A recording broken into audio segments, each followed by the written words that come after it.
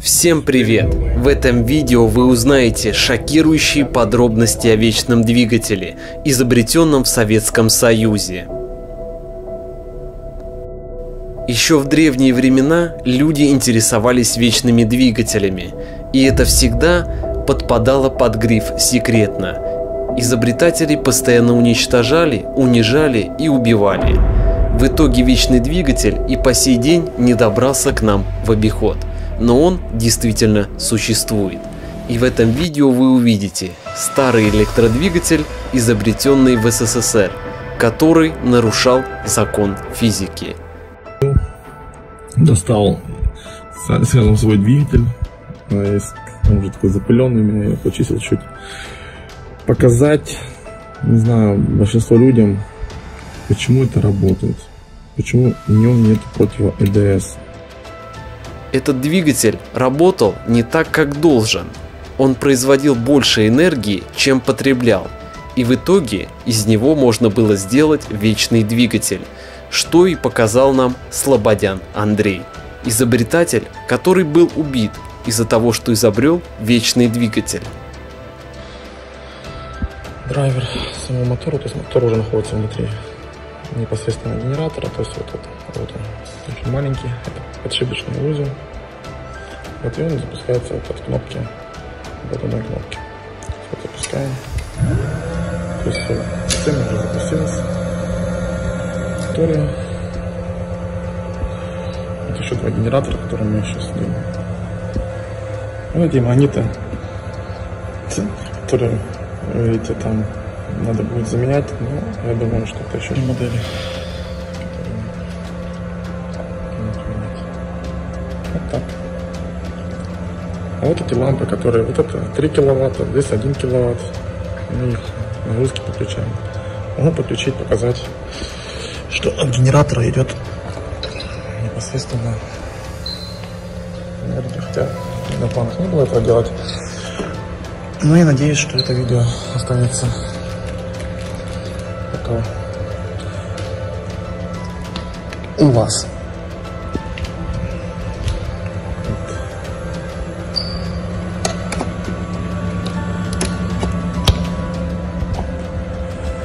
Здесь, да, здесь 1 киловатт. То есть мы 1 киловатт энергии отсюда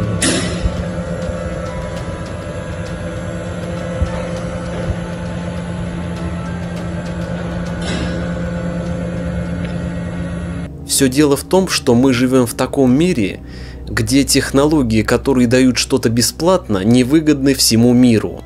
Страны, которые производят нефть, газ и прочие ресурсы, которые можно тысячелетием скармливать, грубо говоря, обычному народу. И при этом вечный двигатель мог испортить планы мирового правительства. Да даже не обязательно мирового, а просто правительства. Потому что никому не выгодно, если у вас будет машина, которая будет сама заряжаться, и при этом аккумулятор практически не потребуется – но максимум только для старта. Ну что ж, мы начинаем. Обязательно, друзья, делитесь этим видео, ставьте лайки и распространяйте, чтобы как можно больше людей узнало о подобной технологии. И может быть, кто-то из вас уже построил этот генератор. Если кто-то, друзья, столкнулся с этим мотором, обязательно отправляйте мне видео в моем телеграм-канале, который будет ссылочкой ниже.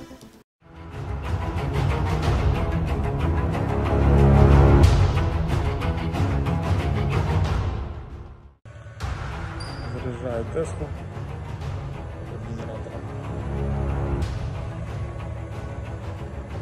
Сейчас у нас идет кабель желтый с генератора. Сегодня мы поговорим о двигателе, изобретенном еще во времена СССР. Это был старый электромотор постоянного тока и с помощью которого можно было построить вечный двигатель. И если вы найдете подобный двигатель, то обязательно присылайте мне видео, удалось ли вам поэкспериментировать с этим интересным мотором. Все вы, возможно, знаете Слободяна Андрея, которого убили из-за того, что он изобрел вечный двигатель. Электромагнитный самовращающийся мотор, который был способен запитывать еще и электромобиль, что он в принципе и продемонстрировал, после чего его ну, буквально через некоторое время ликвидировали. К сожалению, подобные технологии постоянно скрываются, и вы сами, наверное, это понимаете. Вы думаете, возможно, что все вечные двигатели это туфта и шутка, но если вы залезете, если вы реально глубоко залезете в эту тему, вы поймете, что однажды, когда у вас появится вот эта сверхэнергия, да, когда вы получите из одного два, например, или даже три, а может быть и пять, ну именно энергии, то вы поймете, что весь мир на самом деле просто скрывает все эти вечные двигатели. Все эти войны производятся специально, чтобы человечество не могло развиваться. Все эти вечные двигатели уже давным-давно были построены, они возможны, но все знания, которые появляются в сети, они постепенно гаснут, потому что э, фейки всевозможные, да, когда показывают азиаты э, или индусы, то, что якобы какой-то генератор крутится сам, зачастую это неправда. И из-за таких вот видео действительно настоящие факты, когда просто старинный мотор СССР, там 33 -го года, 30 -го года производства, он был способен на самовращение. Ну, может быть, именно с поддержкой от сети, но он вырабатывал больше энергии что Слободян тоже неоднократно демонстрировал. И в этом видео мы как раз таки посмотрим отрезки очень интересной важной информации, с помощью которой можно запустить такой двигатель на самозапитке.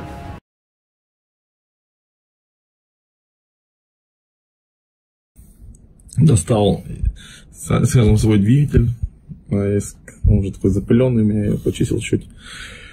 Показать, не знаю, большинство людям, почему это работает, почему в нем нет против ЭДС. Ну, если правильно, конечно, его настроить. Вот, у меня есть блок управления постоянным током. Также у нас он подключен к ваттметру. Вот, то есть сама электроника потребляет 3 ватта, видно. И э, внутри у нас находятся катушки и магниты. Я установил 4 магнита вместо моторных катушек. Вот, здесь есть якорь и 4 щетки. Вот. Далее. Отсюда выходят генераторные катушки. То есть мы отсюда можем снимать напряжение спокойно и при этом э, не будет уменьшаться скорость вращения и не будет никакого происходить торможения. А ваты будут показывать, то есть не будут показывать больше, что они потребляют от сети. То есть мы, ну, я хочу это продемонстрировать, такой показать всем наглядный опыт, чтобы кто-то если хочет заниматься этим, чтобы с этого начали. Это начало всего того, что я делал. И советую разобраться с этим сначала, потом уже дальше как-то вам решать какие-то, думать дальше как-то. Вот, ну ладно, сейчас я стартую. Я, я что сделаю? Я, я сейчас включу блок контроля скорости. Вот. И запущу его. Так, поехали. Так, я буду, буду показывать, что здесь э, на выходе у нас есть э, движение. Если я подключу сейчас к генераторам катушки теста, видно, что очень удобно держать. Ладно, мы сейчас позвоним его больше.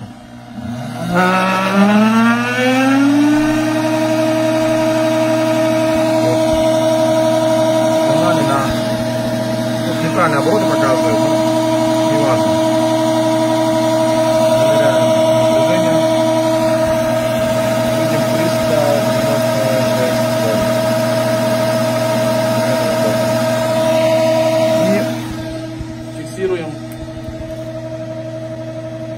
ватта. 362 ватта. Вот, я сейчас замыкаю вот этим, вот видно, да, кабель. Я его замыкаю специально для того, чтобы показать, что мотор не будет просаживаться. Конечно, будет искрить, но смотрите.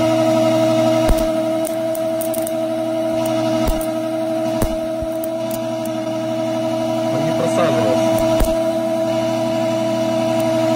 То есть видно, что напряжение есть.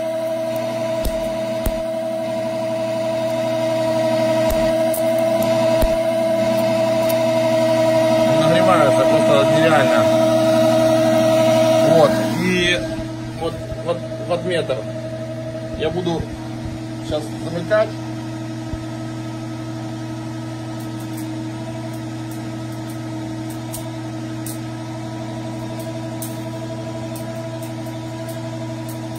Мощность не меняется. Наблюдаем.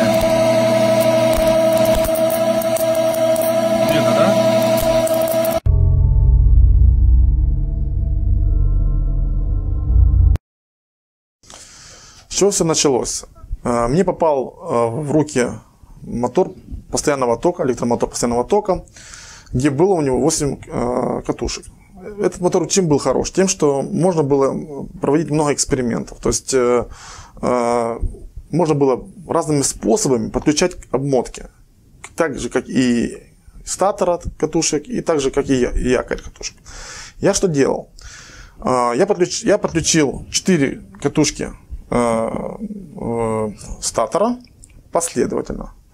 Соответственно, тоже еще 4 катушки включил последовательно, но через э, якорь, ну, через э, щетки якоря. Вот. И э, на входе я поддавал э, 200 вольт постоянного тока. Вот. Э, мощность э, полтора киловатта этого была, этого двигателя. Что у нас, э, когда попадал на эти катушки, создавалось магнитное поле на якоре и создавалось магнитное поле, э, на, магнитное поле стартера и магнитное поле якоря. Соответственно, э, якорь начи- начинал вращаться. Вот. Но, с, так скажем, условно, я назвал катушки моторные и назвал катушки генераторные, условно, которые с которых генератор катушек мы снимали напряжение. Вот. Но как в классическом генераторе, ну, как бы никаких там мы не видели плюсов, ничего такого не было. То есть мы, да, мы видим, как э, образовывается ДС, и якорь начал тормозить. Соответственно, мы что сделали? Ну, то есть мы разными способами подключали, проверяли, то есть я проверял все, ну, то есть никаких результатов у нас не было. Но случайно получилось так, что э, графи, то есть щетки якоря, они э, поменяли, то есть мы, мы- мы там есть такой бегунок, который можно менять э, щетки. То есть эти щетки стали у нас вот примерно в центре, вот между э- этими обмотками. То есть где-то с- э, в середине. Вот, то есть э, здесь тоже, то есть они поменяли свое положение щетки, что кардинально изменило всю, всю ситуацию. То есть э, мы увидели э, генерацию на вот этих обмотках, то есть очень большую генерацию. То есть получается тут э, эффект самоиндукции сработал, то есть эффект то, что э, раз- э, разрядка происходила на э, на генераторных катушках, мы могли э, эту энергию просто э, отбирать. Но тут сам, сама ситуация не заключается не в том, что мы там эту энергию забирали, а ситуация заключается в том, что она была э, сам якорь не тормозился при отборе этой энергии. То есть мы это увидели и начали на- очень плотно вот именно вот этим эффектом работать. То есть э, как это происходило? То есть на, на моторные катушки э, мы подали, я уже как объяснил, подавали напряжение постоянного тока, пульсирующее, подтверждаю, не постоянного э, тока именно от батареи или каких-то других источников, именно должен быть пульсирующий ток. Очень важно на тот момент было это. Вот э, если подключается батарея, то это не будет работать. То есть пульсирующий ток подавался. Вот, потому что пульсирующий ток, он, как, он имеет э, импульсы. То есть он не имеет, э, то есть у него не синус идет. Вот такой наш генератор MG10.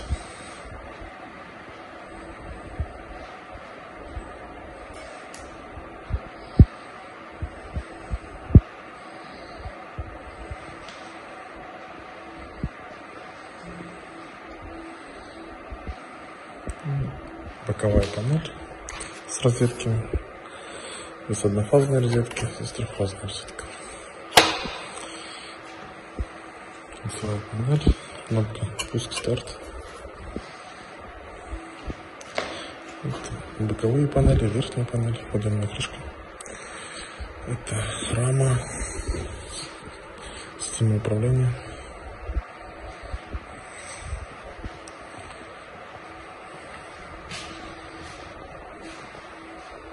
Лицевая панель, боковая панель, ротор с двигателем. Сам генератор. Это презентационная версия. Тут серийные модели.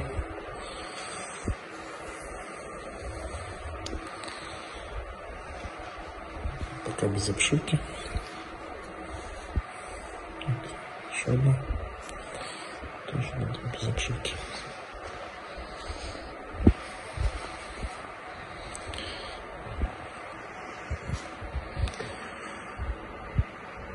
Это хотел показать нашу лабораторию. Вот. Это генератор, о котором мы сегодня говорили, что говорили, дизайн не важен, но мы считаем, что дизайн очень даже важен. Этот товарный вид самого генератора, мы его разрабатывали очень давно. Также у нас тут есть водяное охлаждение применяем. И вот розеточная группа. Также внутри фаза у нас. Слаботочка. Конечно, ничего не, до конца не собран, тут в режиме тестирования. Также сенсорное управление монитора. Драйвер самого мотора, то есть мотор уже находится внутри непосредственно генератора, то есть вот это, вот он, очень маленький, это подшипочный узел. Вот и он запускается вот от кнопки, вот одной кнопки. Вот запускаем. То есть система уже запустилась непосредственно. 5 секунд он уже работает. Хочу показать аппликацию, которую мы сейчас делаем вопрос. Настройка идет. Тут работает генератор. Пока это никто не знает, ну пока это вообще никто не видит.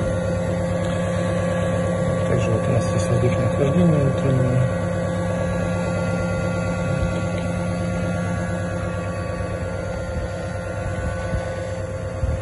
Такая наша лаборатория. Вот еще два генератора, которые мы сейчас делаем.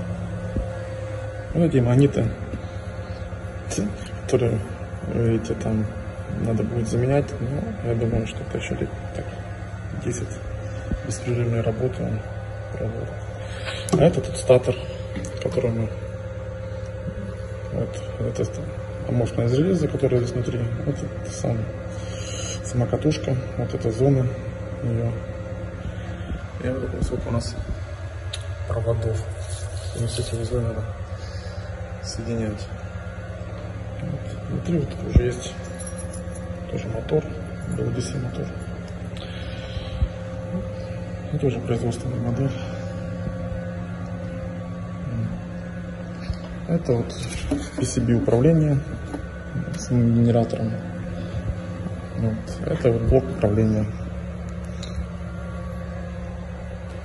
Вот такая наша лаборатория. Могу запускать его. А вот у нас есть одна единственная батарея, с которой мы подсоединяем только для того, чтобы запустить сам генератор. Вот так он работает. Вот такой. А это э, дизайн, который мы применяем. Он же будет закрывать сам генератор. Вот это вот будущие модели. Вот так. А вот эти лампы, которые, вот это 3 киловатта, здесь 1 киловатт. Мы их нагрузки подключаем.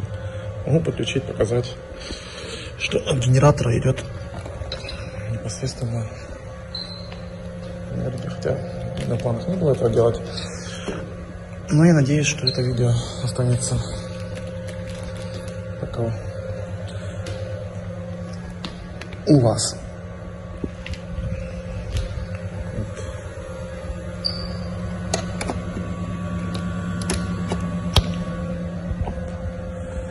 Здесь, да, здесь 1 киловатт, то есть мы 1 киловатт энергии отсюда идет.